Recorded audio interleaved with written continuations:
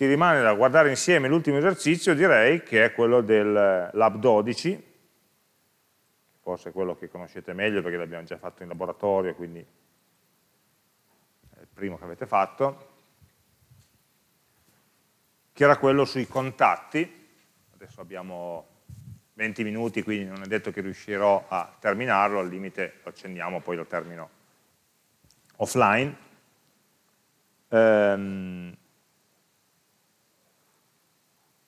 e c'è un file che indica delle persone, nomi di persone, numeri di telefono e presenza all'interno di un albergo, giorno di arrivo e giorno di partenza, dove i giorni sono indicati semplicemente con un valore numerico, un file che contiene dei sospetti, e cosa deve fare il programma? Il programma deve prendere per ogni sospetto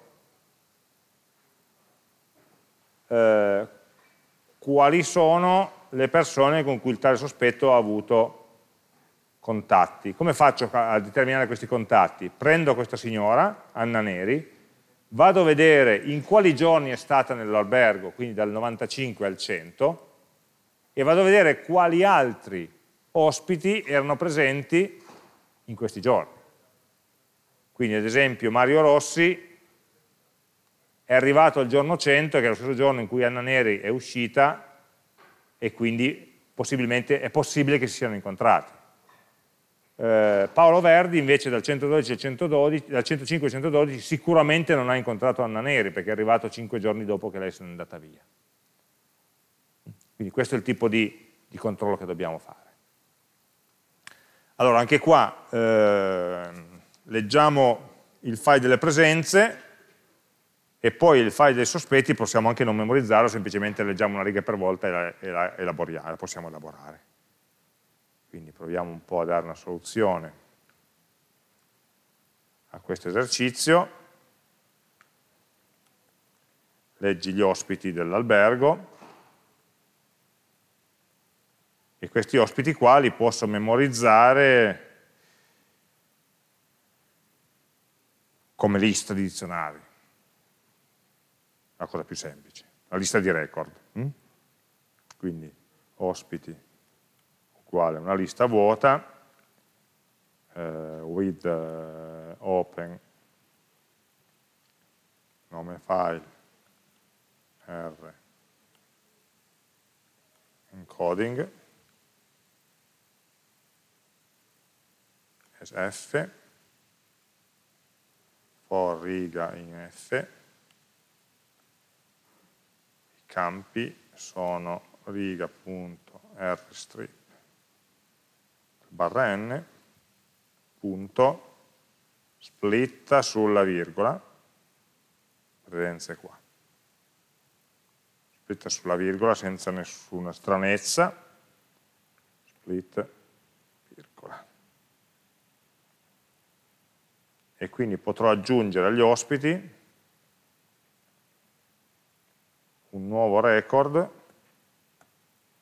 in cui ho il nome che è campi di 0, ho il telefono che è campi di 1, giusto? Sì, e poi in e out, ingresso, ingresso uscita, che è, che è int di campi di 2, e l'uscita è int di campi di 3.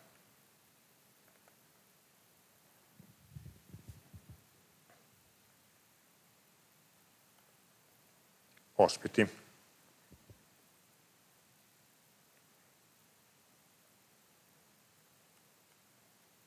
Leggi eh, presenze.txt.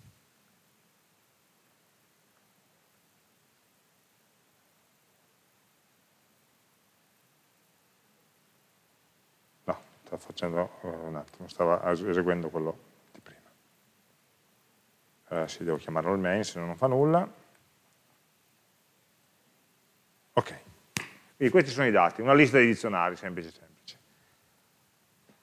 Adesso andiamo a leggere l'altro file con, con i sospetti e per ciascun sospetto, che eh, si legge in un'istruzione sola, perché semplicemente una serie di nomi separati da capo, quindi un, eh, un readlines mi legge l'intero file in un colpo solo, quindi addirittura potrei, se non dobbiamo fare controllo degli errori, degli arrivari, potrei dire che sospetti uguale, eh, vabbè, facciamolo qua, f uguale open, sospetti, in lettura, encoding, sospetti uguale f.readlines f.close no, readlines già legge una lista di stringhe e ogni stringa corrisponde a una riga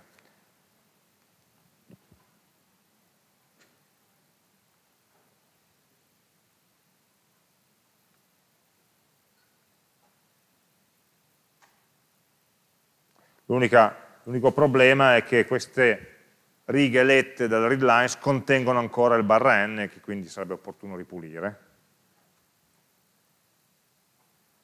Quindi sospetti uguale eh, s.rstrip barra n for s in sospetti. Sostituiamo ogni elemento S col suo strip.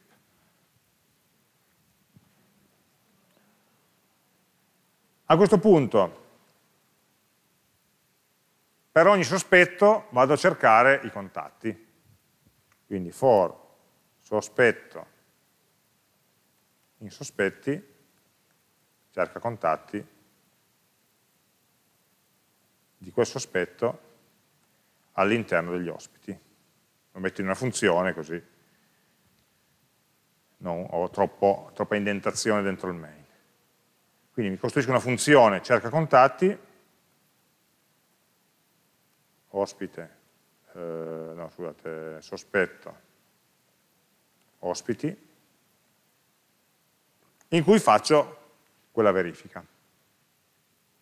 Allora, la prima cosa che devo fare è capire il mio sospetto quando è arrivato, quando è andato via.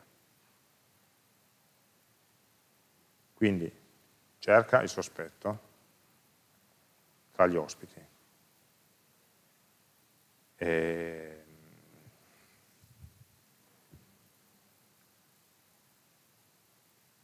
For eh, ospite in ospiti, se ospite di nome uguale sospetto, ricordiamo che sospetto è solo una stringa, eh? se il nome di quell'ospite è quello, allora questo ospite è il mio sospetto. Mm? Ospite sospetto,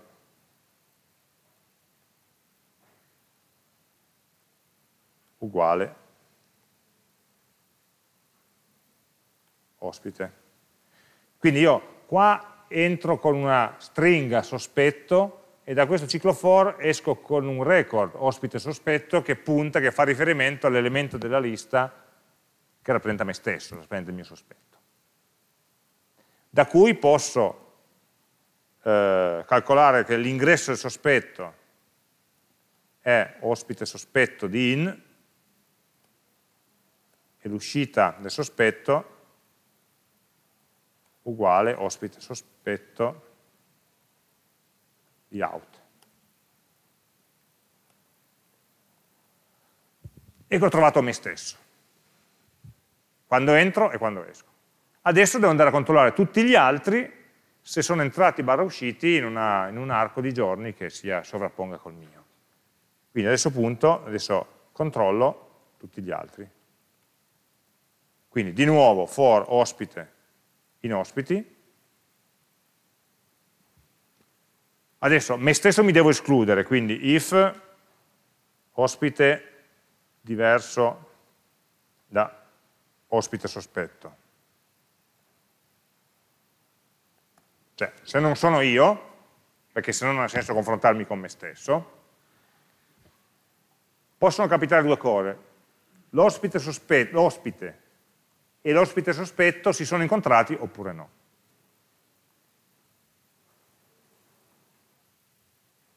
Um, L'unico, un caso in cui non si sono incontrati è quando uno dei due è andato via prima che l'altro arrivasse.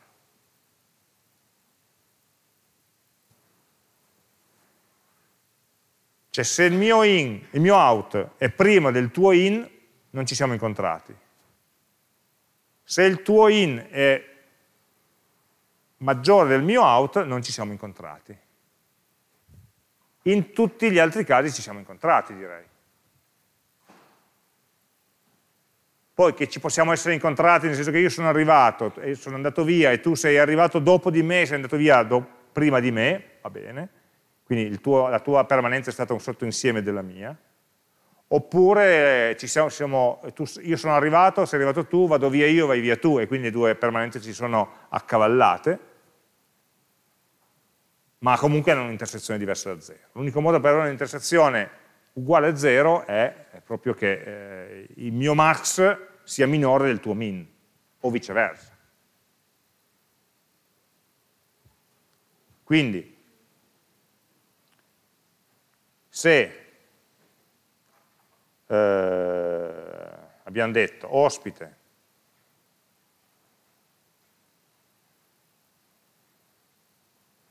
Diciamo così, incontrati, mettiamo una, una variabile booleana, così è più facile.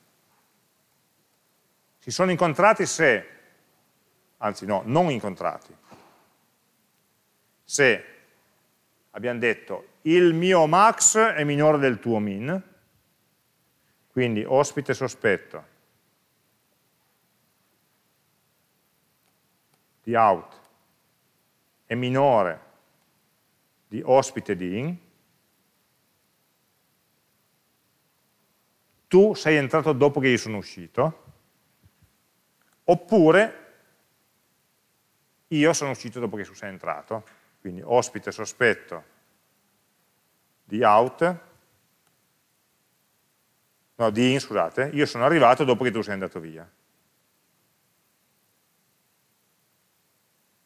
Aspetta, io sono uscito, tu sei entrato dopo che io sia uscito, ok.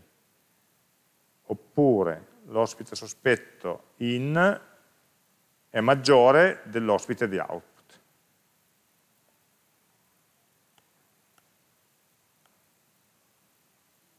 Giusto? Quindi ho due condizioni, o tu sei arrivato dopo che io sia andato via, o tu sei andato via prima che io arrivassi.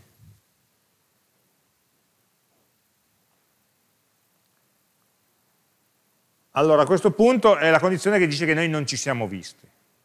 Il sospetto se, se invece ci siamo visti o ci siamo potuti vedere. Quindi se not non incontrati, e questa doppia negazione un po' confonde le idee, Se non, non, è vero che non ci siamo incontrati, allora dovrò stampare che, cosa che devo stampare? Contatto con. F, contatto con ospite di nome, telefono, ospite di telefono. Qui dovevamo stampare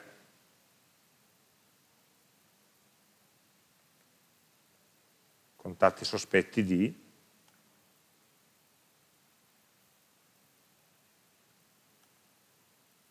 sospetto. Vediamo un po'.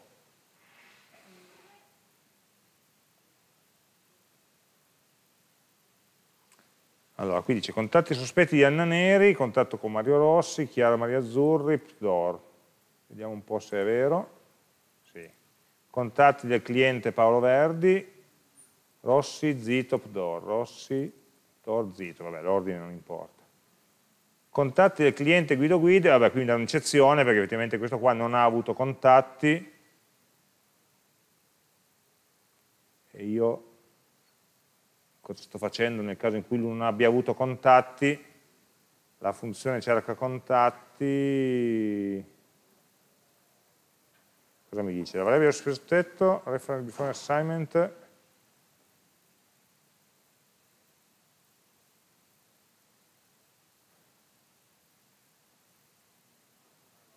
perché ospite sospetto non è stato trovato proprio, perché questo signor Guido Guidi no, c'è. Vabbè, queste qua in realtà non le abbiamo usate, quindi le possiamo anche togliere. Però non era quello il problema, ovviamente. Ospite sospetto. Ah, uh, ok, ok, ok capito? Non era Guido Guidi ma era uno nessuno il problema. Tra i sospetti c'è uno che si chiama uno nessuno che non c'è nelle presenze, proprio non è mai stato in quell'hotel lì.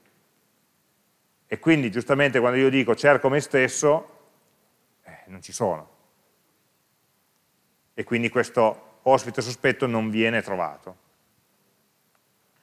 Quindi nel caso in cui non venga trovato, possiamo dire, come faccio a accorgermene? Ospite, allora, inizializziamolo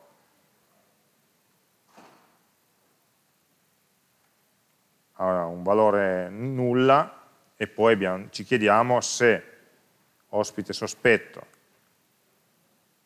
uguale none, allora usciamo da questa procedura dicendo che il, so, il signore qua, sospetto, non è mai stato in hotel.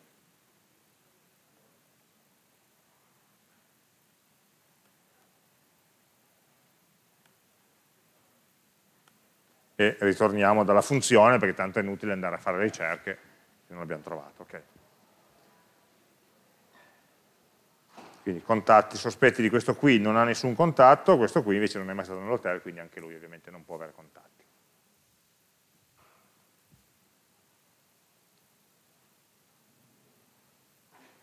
Anche qua potremmo dire contatti sospetti nessuno, potremmo metterlo, eh, miglioriamo un pochino, quindi mettiamoci un flag che ci dice se ne abbiamo trovato almeno uno, e poi alla fine se not trovato, print nessun contatto. Così è un pochino più leggibile. Contatti sospetti di, ti dà i vari contatti, guido guidi nessun contatto, invece uno nessuno non è mai stato nell'hotel.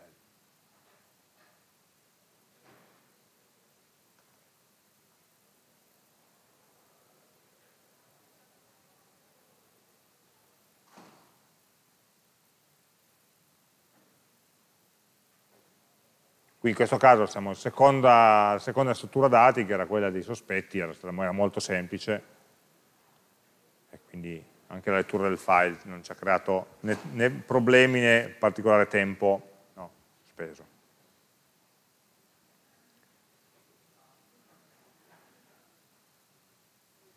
Ok, direi che contrariamente alle previsioni siamo riusciti a finire tutti gli esercizi che ci eravamo proposti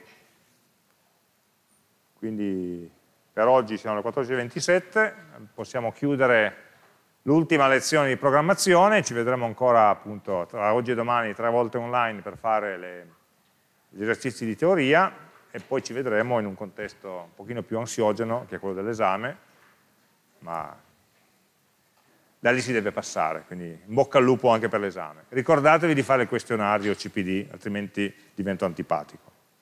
Buona giornata.